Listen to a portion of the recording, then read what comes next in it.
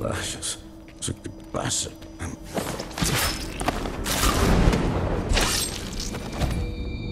Te lo merecías, Ramsey.